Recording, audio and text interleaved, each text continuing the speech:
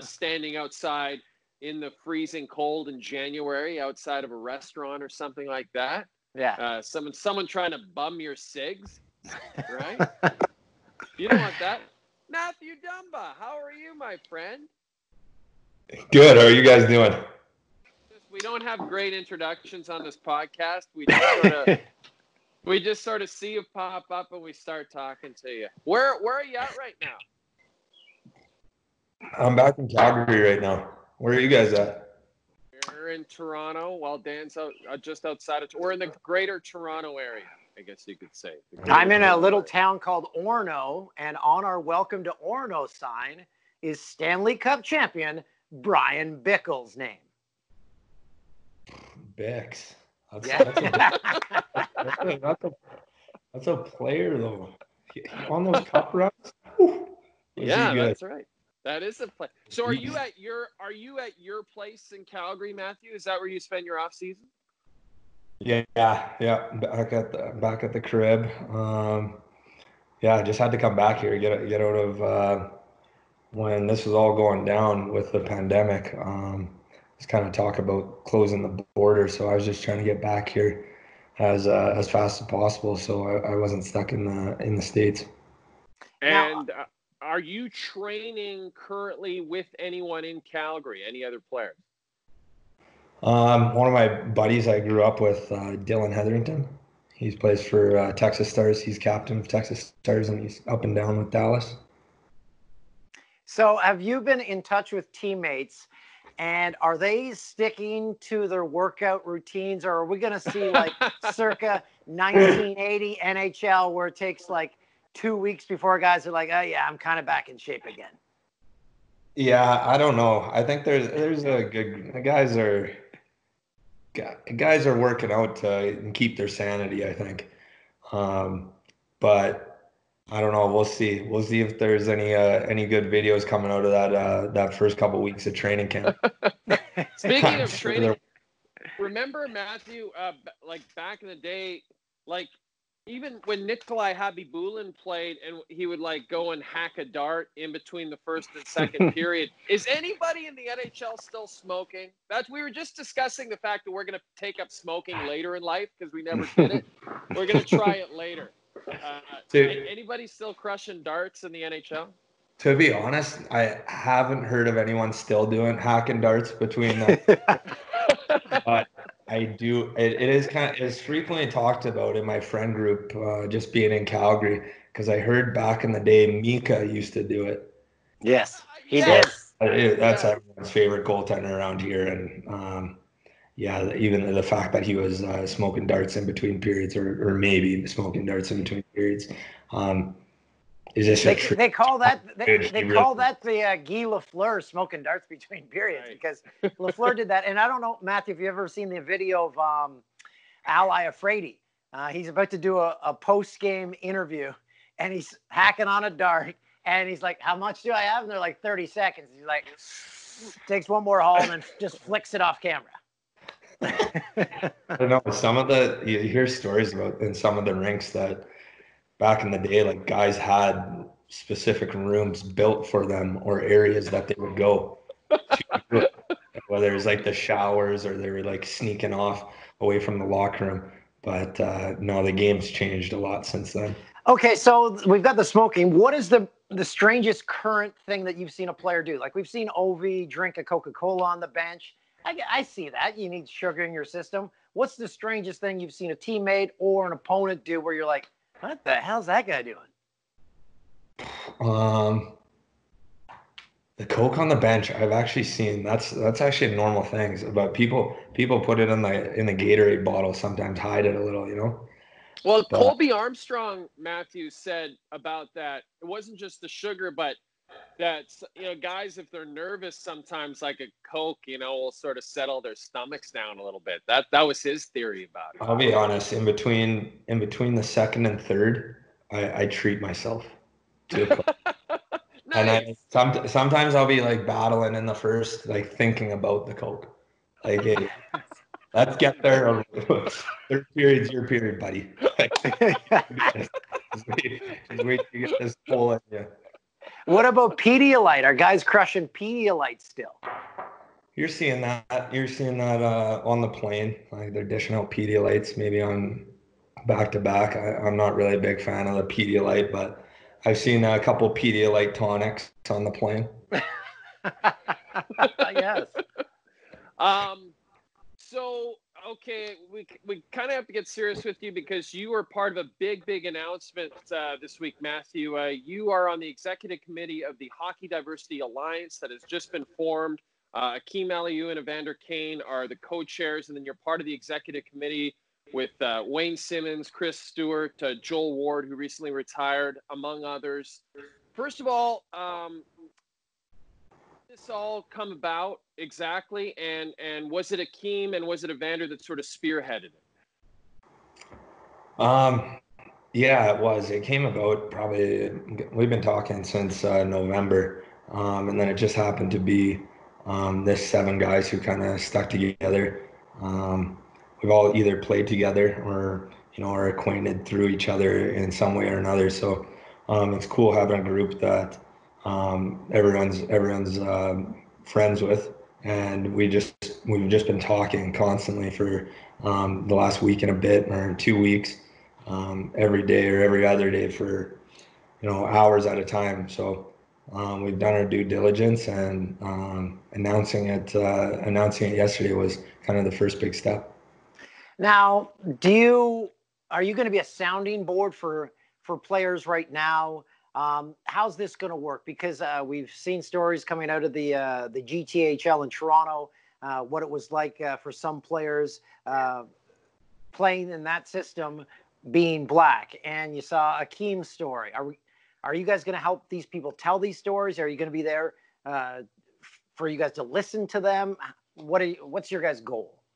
I think yeah, we've talked about that in a number of different ways, and uh, kind of a mentorship program has been uh, kind of floating around there. Um, but really, um, yeah, it is attacking those um, those minor league, the not even minor league, it's uh, the minor, minor, hockey. Minor hockey, yeah, minor hockey starting right from the start because um, I think that's where we all first, um, you know, dealt with racism, um, and that's that's so sad. Um, even just hearing guys' stories or hearing kids' stories about it, it's still happening today. Just you know, it, it pulls out um, pulls out my heart, and it just you know, it brings up all those feelings that I had um, when I was little, when I was going through that stuff uh, with my family, and you know, it's it's not right. So I think that's one of the biggest stands our, our group is going to take, and um, yeah, I think I think we're going to do um, some awesome stuff, and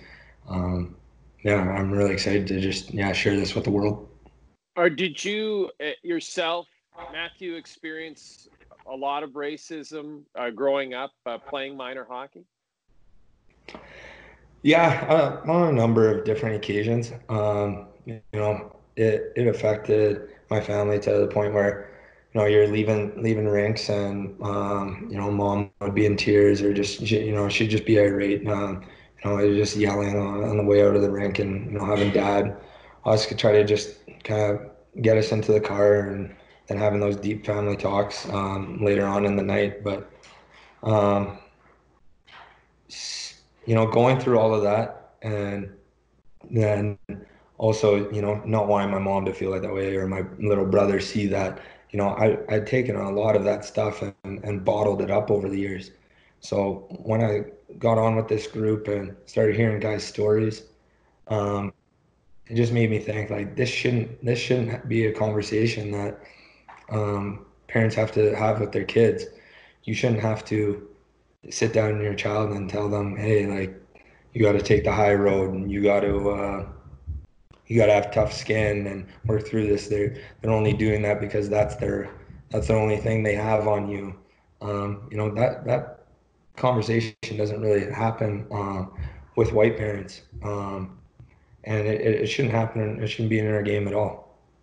So you mentioned the the talks you had to have with your parents, but there must have been a part of you. If I had to experience that, I'd just say this, them.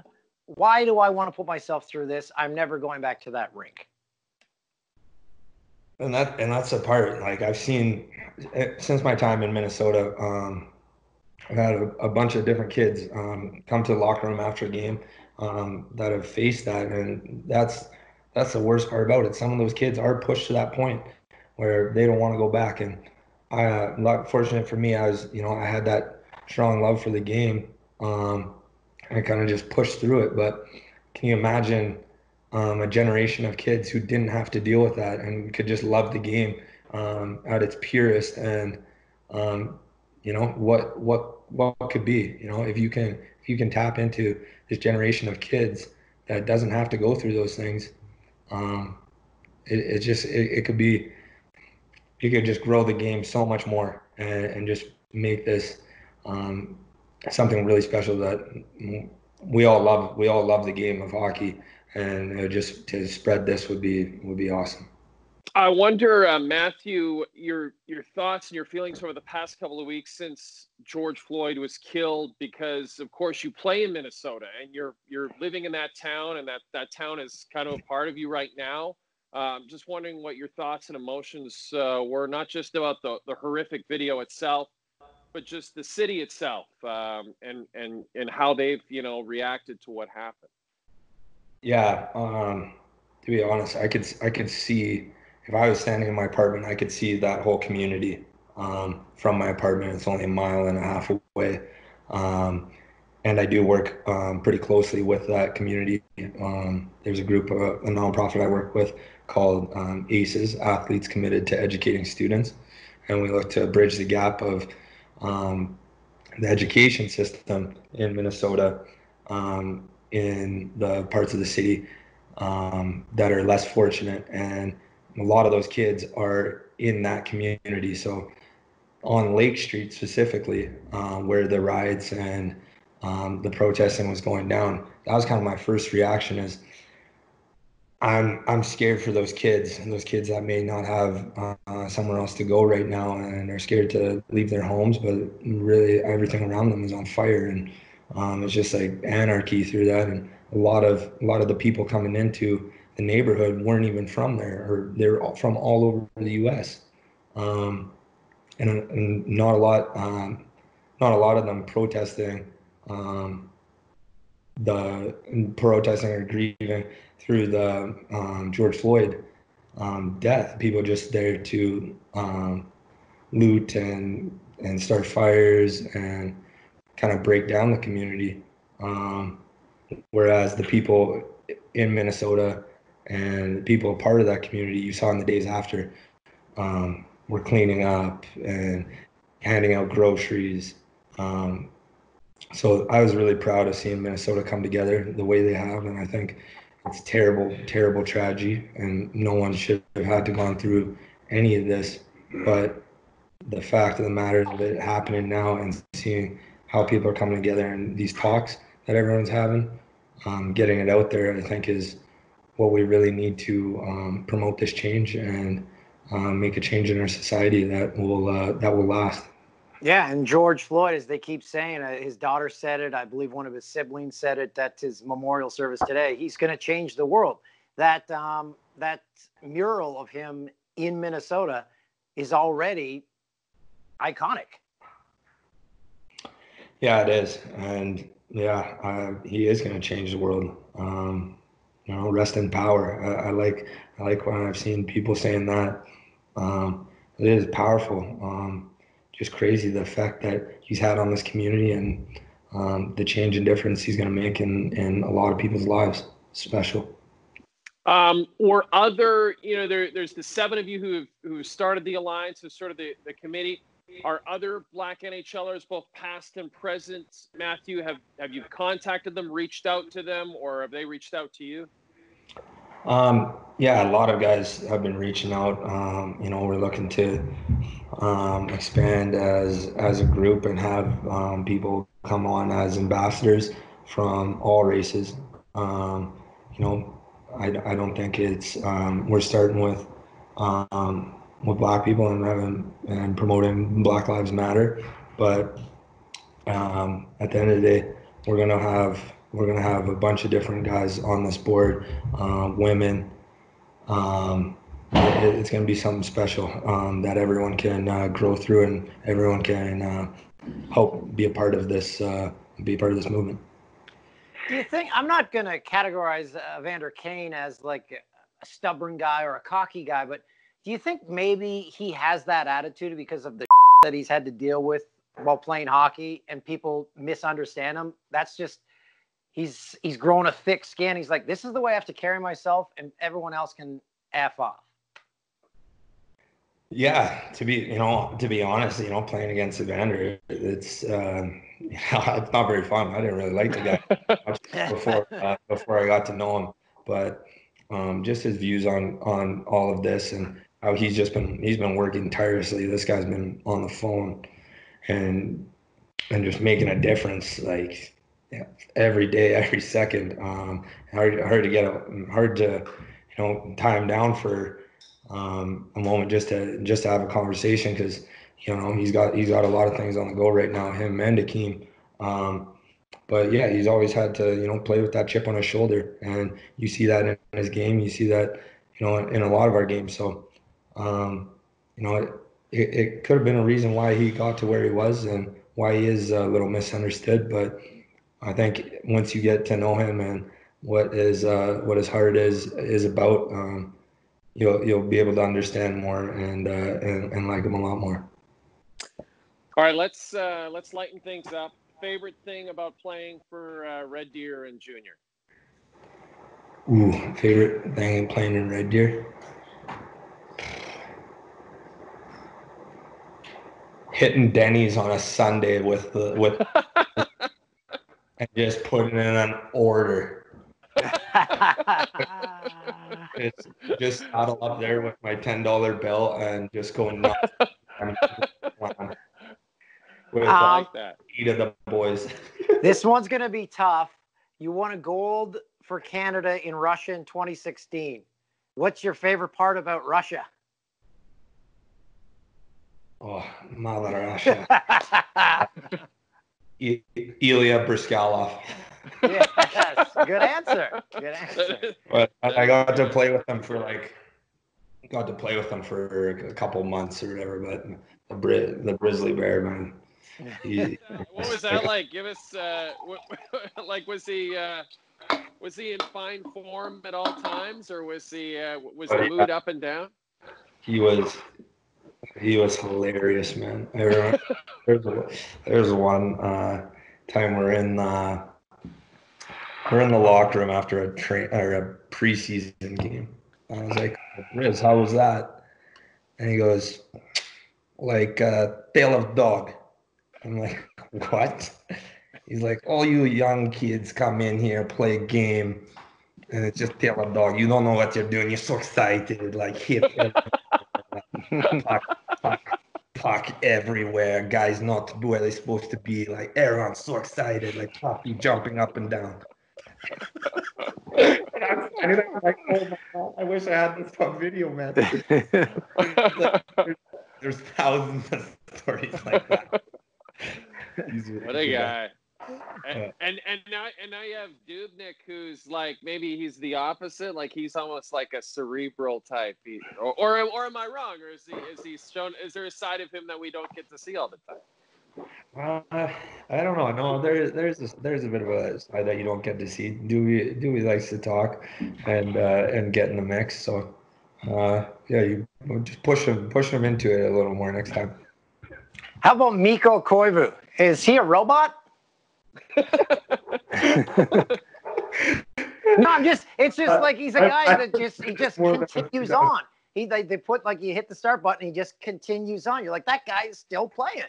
He he's still playing. Yeah, he's uh he he's been awesome to me and, and my family. Um, just just a great leader and someone who you know once you once you get close to him, once you uh, yeah, get the get a couple of the screws loose and get into the, the interior of the robot. Um, he, he's he's awesome, dude, and um, you know he's uh, he really showed me what it takes to uh, be a professional league because this guy comes to comes to work every day um, and just ready ready to work and get better. Um, that's just testament to his longevity in the in the league, right?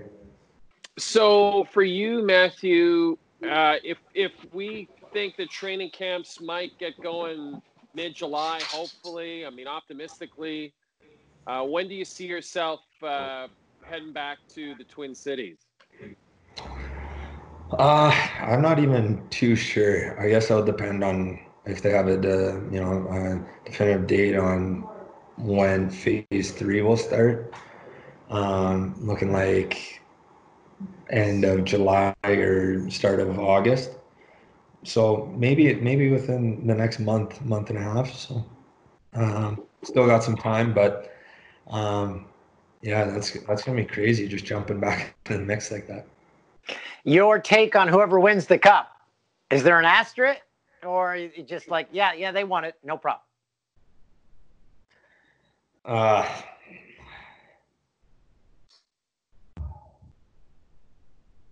if Wild wins the cup, there's no asterisk.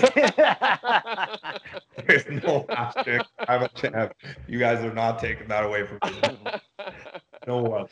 Anyone, you, but, anyone else wins, yeah, there's an asterisk. Good answer, yeah. But are you? Uh, I mean, you could end up, you know, living in a hotel for three months. You know, like it. Does do you stop and think about about that? I mean, I guess you're kind of living in hotels anyway on the road, but it's like one hotel. I mean, it's kind of a weird situation to think about. That that could honestly be a reason why you take away the asterisks because you're going to have to battle through this um, if you go deep into the playoffs and um, just being away from your families and friends. Um, you know that can that could definitely wear on guys, and I know that's kind of some of the guys' concern too. Is you know you're you're in the middle of you're in the middle of summer. And, you know a lot of the guys got the kids at home right now, and yeah, havoc. You got them cooped up from the pandemic, and now uh, now dad's gone for a couple months. So, um, but come on, admit though, not sure. A lot of guys are like, "Get me the hell out of here! I can't wait for this to happen." yeah, that, that's probably true too. yes, hundred percent. You could you could argue there's a hundred different ways. yeah.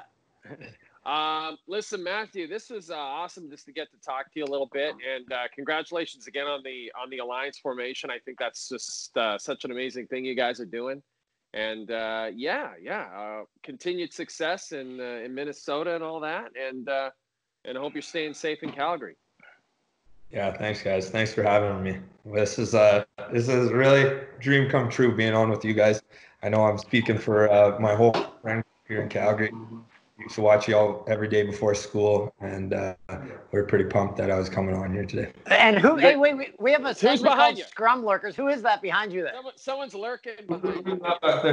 We're all Yo, Blakey. Yo, come on, say hi. We're all back here. it's, it's the crew. Hello. Cammy Tackle, come say hi. okay. Whoa, they're coming out everywhere. There they are. They're all, they're all behind the wall there. Thanks, guys. Okay, guys. Enjoy day. your Tuesday night. Hey, yeah, later. take care. See you later. See you guys. Oh, they're gonna rip it up tonight. Cool. Good to see him.